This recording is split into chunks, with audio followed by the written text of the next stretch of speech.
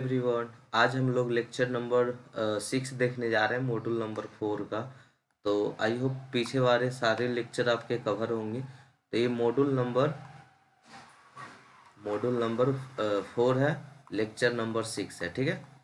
चलिए तो इस टॉपिक में बाबू हम लोग क्लासिफिकेशन ऑफ़ प्रोटीन देखने वाले थे, जो किस पे बेस्ड हो, जो बेस्ड ऑन मोलिक्यूलर शेप पर हो। ठीक है? सेप पर देख लिए थे फाइबरस वाला। आज हम लोग देखने वाले थे स्ट्रक्चर एंड सेप पे। Based on structure and shape पे, ठीक है?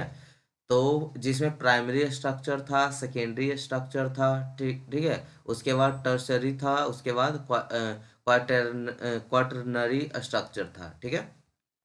तो फ़र्स्ट से देखते हैं प्राइमरी स्ट्रक्चर क्या होता है। जो आपको एमिनो एमिनो एसिड को जो जोड़ता है वहाँ पे एक बॉन्ड बनाता है, पेप्टाइड बॉन्ड, और पेप्टाइड बॉन्ड बनाता है, उसी को हम लोग क्या कहते हैं? प्राइमरी स्ट्रक्चर स्ट्रक्चर कहते हैं, जिसे यहाँ पे देख रहे होंगे कि मान लीजिए कुल कुल अमीनो एसिड मिला हुआ है, जोड़ा हुआ है, ठीक है? तो ये जो बीच में बॉन्ड बना रहा है ना, ये सब अमीनो एसिड है, जो गोल गोल दिख रहा है, वो सब एमिनो एसिड है, और यहाँ पे जो एक बॉन्ड बनाया है, वो पेप्टाइड बॉन्ड है, ठीक है? यानी वही प्राइमरी स्ट्रक्चर है आपका। तो इस तरह से हम बोल सकते हैं कि जो आपका यहाँ पे अमीनो एसिड को हम लोग जोड़ रहे हैं अमीनो एसिड को ऐड कर रहे हैं तो ये जो बॉन्ड जो बॉन्डिंग होता है वही प्राइमरी स्ट्रक्चर को डिफाइन करती है ठीक है? और ये बॉन्ड कौन होती है? पेप्टाइड बॉन्ड होती है ठीक है? तो ए, कुल एमिनो एसिड को जोड़ते हैं तो जो बॉन्ड बनाता है उसे हम लोग पेप्टाइड बॉन्ड कहते हैं और वही बॉन्डिंग जो है प्राइमरी स्ट्रक्चर को डिफाइन करती है। तो कोई भी पूछे कि प्राइमरी स्ट्रक्चर में कौन सा बॉन्डिंग हो, होता है तो बोलेंगे कि पेप्टाइड बॉन्ड होता है। कौन सा बॉन्ड होता है? पेप्टाइड बॉन्ड होता है। तो each poly polypeptide in a protein has amino acid linked with each other in a specific sequence this sequence of amino acid is called primary structure of a proteins ठीक है? तो ये clear है? Secondary structure के बारे में अब देखते हैं। तो it refers to shape in which a long polypeptide chain exist there are two types ठीक है? ये जो पोलीपेप्टाइड चेन होते हैं, ये बहुत ही लॉन्ग होते हैं मतलब बहुत ज़्यादा चेन में, बहुत ज़्यादा लॉन्ग ड्यूरेशन में होते हैं। तो पोलीपेप्टाइड चेन एग्जिस्ट करता है, वो दो टाइप में करता है। अल्फ़ा हेलिक्स में करता है बीटा पिलिटेड सीट में करता है। तो सबसे पहले अल्फ़ा हिलिक्स के बारे में देखते हैं। नाम से ही पता चल रहा है कि अल्फ़ा हिलिक्स यानी स्पाइरल शेप का होगा। तो in which polypeptide chain form intermolecular hydrogen bond by twisting into right handed helix with the NH group of each amino acid acid reduce hydrogen bond यहाँ पे सीधे सीधे बोल रहे जो इसका एग्ज़ाम्पल होता है हेयर नेल का हेयर नेल में जो केराटिन मौजूद होता है, ठीक है? Then adjacent turn of the helix example keratin in hair nails ठीक है? ध्यान से सुनिएगा इसके बारे में जो बता रहे हैं ओवरव्यू बता देते हैं पहले कि इसमें जो अल्फ़ा हेलिक्स वैसा सेकेंडरी स्ट्रक्चर होता है अल्फ़ा हेलिक्स वैसा सेकेंडरी स्ट्रक्चर होता है, जिसमें amino acid chain spiral formation में होती है। कैसा फॉर्मेशन होती है? स्पाइरल फॉर्मेशन में होती है, ठीक है? स्पाइरल फॉर्मेशन में अरेंज होती है। फिगर देखिएगा, ठीक है? और फिगर आप गूगल पे सर्च मारिएगा तो वहाँ पे और क्लियर दिखेगा, ठीक है? तो अल्फ़ा हेलिक्स वैसा सेकेंडरी स्ट्रक्चर होता है जिसमें amino acid chain spiral formation में अरेंज होता है। अल्फ़ा हेलिक्स राइट हैंडेड होता है। कैसा होता है? राइट हैंडेड जिसको हम लोग क्लॉक वाइज भी बोल सकते हैं, ठीक है? क्लॉक वाइज ट्विस्ट करता है है ना? उसके बाद इसमें जो एक अमीनो एसिड है, उसका कार्बोनाइल ग्रुप हाइड्रोजन बॉन्ड बनाएगा। और अमीन जो अमीनो ग्रुप के साथ जो चार अमीन एसिड छोड़ के प्रजेंट होता है, ये जो प्रेजेंट होता है ना, वो बॉन्डिंग के जो हाइड्रोजन बॉन्डिंग का पैटर्न होता है, वो इस पोलीपेप्टाइड प्लेन को इस तरह से पुल करता है कि एक कर्ल का स्ट्रक्चर दे, ठीक है? जब पोलीपेप्टाइड प्लेन को वो पुल करता है तो यही कर्ल सामने आता है। इसमें जो मेन चेन होता है इनसाइड प्रजेंट होता है इनसाइड प्रजेंट होता है, और जो फंक्शनल ग्रुप यानी आर ग्रुप का होता है, वो हेलिक्स से बाहर प्रजेंट होता है। क्लियर है? तो आई होप इसमें अल्फ़ा हेलिक्स समझ में आया होगा कि वैसा सेकेंडरी स्ट्रक्चर जिसमें एमिनो एसिड स्पाइरल फॉर्मेशन हो राइट हैंडेड हो, यानी क्लॉकवाइज ट्विस्ट करे, ठीक है? और इसका जो अमीनो एसिड का कार्बोनल ग्रुप का हाइड्रो कार्बोनाइल ग्रुप जो है, वो हाइड्रोजन बॉन्ड बनाता है। अमीन ग्रुप के साथ चार अमीन एसिड छोड़ के प्रजेंट होता है। जब इस पे बॉन्डिंग बनाता है तो हाइड्रोजन बॉन्डिंग एस प्लेन को ऐसा मतलब पोलीपेप्टाइड प्लेन को ऐसा पुश करता है, पुल करता है कि वो एक कर्ल टाइप में स्ट्रक्चर देता है, ठीक है? और जो इसमें मेन चेन होता है, जो इनसाइड प्रजेंट होता है आर ग्रुप होता है, जो हेलिक्स के बाहर, यानी आउटसाइड में ओरिएंटेड होता है। क्लियर है अल्फ़ा हेलिक्स के बारे में? तो अब आते हैं। बीटा प्लेटेड सीट के बारे में देखते हैं।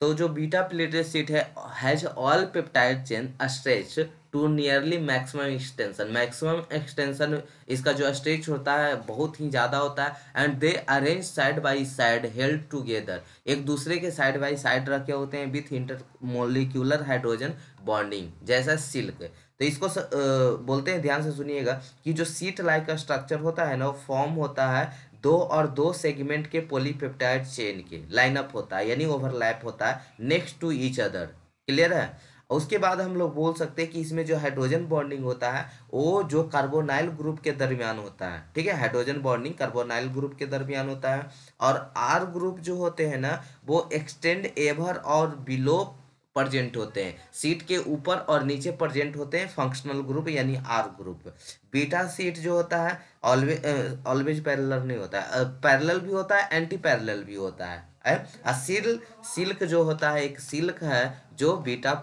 बीटा प्लेटेड सीट का स्ट्रक्चर है। ठीक है? एग्ज़ाम्पल है उसका सिल्क ठीक है? अब आते हैं तीसरे नंबर पे अपना टर्सरी स्ट्रक्चर के बारे में। टर्सरी स्ट्रक्चर क्या है? तो tertiary structure it represents overall folding of polypeptide chains by hydrogen bond disulphide linkage waals and electrostatic form of attraction fibrous and globular protein तो जो टर्सरी स्ट्रक्चर है हाइड्रोजन बॉन्डिंग हो गई पेप्टाइड बॉन्डिंग हो गई, अब बाकी के जो फोर्सेस रहेगी ना, वो जो आपका स्टेट ऑफ़ मैटर मैटर में पढ़े थे, जैसे वहाँ पे हाइड्रोजन बॉन्डिंग हो, यहाँ पे अभी जो देख रहे थे हाइड्रोजन बॉन्ड हो गया पेप्टाइड बॉन्ड हो गया, अब बाकी के जो भी फोर्स है, जो आप स्टेट ऑफ़ मैटर में पढ़े थे, जैसे सल्फाइड हो गया सल्फाइड लिंकेज हो गया आयोनिक इंट्रैक्शन बांडर बॉल हो गया इंट्रैक्शन वो सभी के सभी जो है, जो दो दो दो पोलीपेप्टाइड के, नहीं, एक सेकेंड एक सेकेंड हाँ सही है। बॉन्डर इलेक्ट्रोस्टेटिक फॉर्म अस्ट्रैक्शन होता है, जैसे हो गया फाइबरस एंड ग्लोबुलर प्रोटीन हो गया। अब आते हैं कार्टनरी स्ट्रक्चर में। कार्टनरी स्ट्रक्चर क्या है? The spatial arrangement arrangement of two or more polypeptide chain with respect to each other is known as quaternary structure दो पोलीपेप्टाइड के बीच में जो अट्रैक्शन होता है, उसी को हम लोग कार्टनरी स्ट्रक्चर कहते हैं, ठीक है? तो कार्टनरी स्ट्रक्चर में सीधा सीधी बोल दीजिएगा कि दो पोलीपेप्टाइड के बीच में जो इंटरेक्शन होता है, उसी को हम लोग कार्टनरी स्ट्रक्चर बोलते हैं, ठीक है?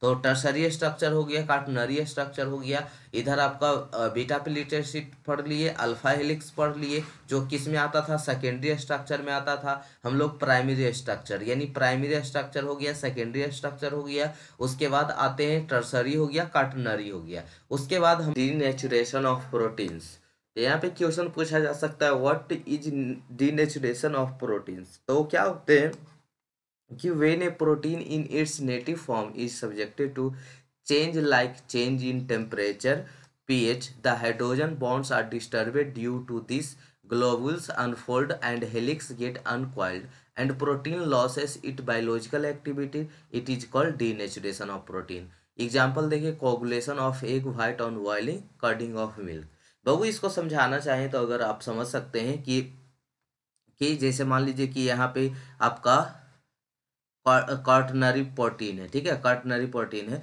जिसमें आप या तो हीट दें या तो पीएच चेंज करें, ठीक है?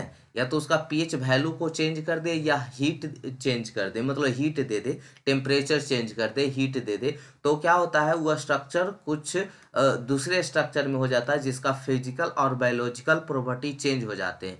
जैसे आप एग में प्रोटीन होता है एग को उबालते होंगे तो जो व्हाइट वाला पार्ट होता है सोल्डिफिकेशन हो जाता है, जम जाता है, अंडा उबालते हैं ना तो जम जाता है मिल्क से दही बनता है, ठीक है? तो ये सब प्रोसेस क्या कहलाता है? डी नेचुरेशन ऑफ़ प्रोटीन्स क्या कहलाता है? जब उसका हम लोग टेम्परेचर चेंज कर दे या उसका पीएच चेंज कर दे तो क्या हो जाता है? वो चेंज कर देता है अपना फ़िज़िकल एंड बायोलॉजिकल प्रॉपर्टी इसको हम दूसरे शब्द में बोल सकते हैं, दूसरे वर्ड में बोल सकते हैं, अगर लिखना चाहें तो आप लिख भी सकते हैं सिंपल लैंग्वेज में सिंपल डिफिनीशन में। द प्रोसेस ये सिंपल डिफिनीशन होगा, ठीक है, समझने के लिए। The the process that change that change the physical the physical and biological biological properties properties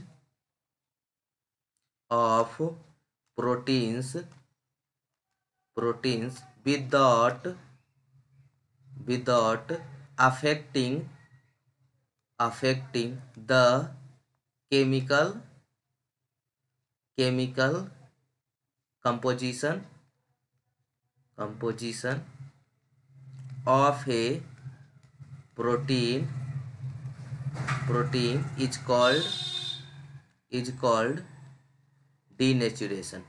तो कितना सिंपल डिफिनेशन दे दिए ताकि आपको ये हमेशा के लिए याद आ जाए। The process that change the physical and biological properties without affecting the chemical composition chemical composition में कोई भी इफ़ेक्ट नहीं आएगा, जिसमें ना तो उससे बसा गायब हो जाएगा, ना फैट गायब हो जाएगा, ना उसमें जो भी आपका प्रोटीन है वो गायब हो जाए। केमिकल कंपोजिशन कोई चेंज नहीं होगा, उसका किस पे इफ़ेक्ट करेगा? बायोलॉजिकल और फ़िज़िकल प्रॉपर्टी चेंज होगा तो उसको हम लोग क्या कहते हैं? डी नेचुरेशन कहते हैं। When a protein its native form is subjected to change like change in temperature या पीएच वैल्यू दोनों में कोई चेंज करे हाइड्रोजन बॉन्ड आर डिस्टर्बेड तो उसमें हाइड्रोजन बॉन्ड क्या हो जाते हैं? डिस्टर्ब हो जाते हैं। जैसे एग्ज़ाम्पल ले, अगर आप और उसका जो बायोलॉजिकल और फ़िज़िकल होता है, वो दोनों चेंज हो जाते हैं। जैसे protein coagulation of egg white on boiling boiling करने पे क्या हो जाता है? सारे वाइट पार्ट एक जगह हो जाते हैं, ठीक है? और वो सोल्डिफी सोल्डिफाई हो जाते हैं। कर्डिंग ऑफ़ मिल्क मिल्क से कर्ड जब बनता है, दही बनता है, तब जो प्रॉपर्टी चेंज होता है, उसी को हम लोग क्या कहते हैं? Denaturation of pro proteins कहते हैं। कोई दिक्कत बाबू? चलिए। अब हम लोग निकुलिक एसिड के बारे में देखते हैं, ठीक है? अब निकुलिक एसिड क्या है? तो जो आपका निकुलिक एसिड है, वो क्या करता है? एक second The polymers of uh, nucleotides help in synthesis of protein and transfer genetic traits. Nuclei acid और two types. ये बाबू अठारह सौ उनहत्तर में फेडरिक मिसर ने इसका खोज किया था ठीक है और इसका ऑलमोस्ट पार्ट जो होता है न्यूक्लियस में प्रजेंट होता है नाभि में प्रजेंट होता है इसलिए इसको हम लोग न्यूक्लिक एसिड बोलते हैं जिसमें क्या करता है आपके सिंथेसिस ऑफ़ प्रोटीन को और जेनेटिक ट्रेड्स को ट्रांसफ़र करता है जिसमें दो पार्ट है एक डीएनए है एक आरएनए है न्यूक्लिक एसिड है, इसका फुल फॉर्म हम लोग डीएन और आर एन तो पीछे पढ़ाए थे। तो ये न्यूक्लिक एसिड और आर एन है जो न्यूक्लिक एसिड है। इसमें आपका दो इंपॉर्टेंट क्वेश्चन पूछा जाता है यहाँ से। न्यूक्लिसाइड क्या है और न्यूक्लियोटाइड क्या है? ठीक है? न्यूक्लियोसाइड और न्यूक्लियोटाइड के बारे में पूछा जाता है। यहाँ पे इसका दोनों का डी डी ऑक्सी राइबोस का स्ट्रक्चर है, ये राइबोस का स्ट्रक्चर है, दोनों का स्ट्रक्चर है। बना लीजिएगा अपने कॉपी पे, ठीक है? उसके बाद न्यूक्लियोसाइड और न्यूक्लियोटाइड पे आते हैं। तो इसको ध्यान से समझिएगा न्यूक्लियोसाइड और न्यूक्लियोटाइड क्या है? तो आप जानते होंगे या नहीं जानते होंगे तो यहाँ पे देखिएगा। एक सेकेंड हाँ। क्या जानते होंगे कि जो न्यूक्लिक एसिड है न्यूक्लिक एसिड है सीड है, जो दो ग्रुप दो टाइप का है, एक डीएनए एंड आरएनए इतना तो पता है। चलिए, ये दोनों जो मिल के, ये दोनों जो होता है, किसका कंपोनेंट्स होता है? नाइट्रोजन बेस का होता है। नाइट्रोजन नाइट्रोजनियस बेस होता है। और किसका बेस होता है? शुगर होता है। शुगर का कंपोनेंट होता है। और किसका होता है? फॉस्फेट का होता है। फॉस्फेट का होता है। तो जब जब नाइट्रोजन बेस और शुगर मिलकर नाइट्रोजन बेस और शुगर मिलता है, तब न्यूक्लियोसाइड बनाता है। क्या बनाता है? न्यूक्लियोसाइड जो अभी न्यूक्लियोसाइड और न्यूक्लियोटाइड देख रहे थे ना कि न्यूक्लियोसाइड क्या न्यूक्लियोटाइड क्या है? तो न्यूक्लियोसाइड बनाता है और इसमें अगर फॉस्फेट भी ऐड कर दे, जैसे नाइट्रोजन और शुगर मिला के न्यूक्लियोसाइड बनाता है, अगर तीनों मिला दे फॉस्फेट भी मिला दे, तब न्यूक्लियोटाइड बनाता है। क्लियर है? तो न्यूक्लियोसाइड और न्यूक्लियोटाइड में क्लियर होगा। तो न्यूक्लियोसाइड जो था नाइट्रोजन बेस और शुगर मिलके बनता था। यानी ये unit form by the attachment of one position of sugar is known as nucleotide nucleoside और न्यूक्लियोटाइड क्या था? जो मतलब फॉस्फेट भी मिला दे। तो when nucleoside is linked with a phosphoric ठीक है? फॉस्फोरिक एसिड मतलब फॉस्फेट भी मिला दे। Five position of sugar moiety the unit of ten is called nucleotide तो नाइट्रोजन बेस और आपका शुगर से मिलके बने तो न्यूक्लियोसाइड नाइट्रोजन बेस शुगर और फॉस्फेट भी, यानी फॉस्फेरिक एसिड भी मिलके बने तो न्यूक्लियोटाइड ठीक है? आई होप क्लियर होगा, उसका स्ट्रक्चर है न्यूक्लियोसाइड का सिंपल स्ट्रक्चर है, ठीक है? जेम्स बॉस्टन और and Francis Crick gave double helix structure of DNA DNA के डबल हेलिक्स स्ट्रक्चर किसने दिया था? जेम्स बॉस्टन ने दिया था फेरेंसिक क्रिक ने दिया था, ठीक है? तो ये आपका मॉड्यूल यहाँ पे समाप्त होता है बाबू। मॉड्यूल नंबर फोर समाप्त करते हैं। कल से हम लोग चलेंगे मॉडल नंबर फाइव पे। ठीक है? थैंक यू सो मच यहाँ तक बने रहने के लिए। मिलते हैं हम लोग नेक्स्ट एपिसोड में। तब तक आप पढ़ते रहे और अपना एग्ज़ाम की तैयारी अच्छे से करते रहे। ठीक है?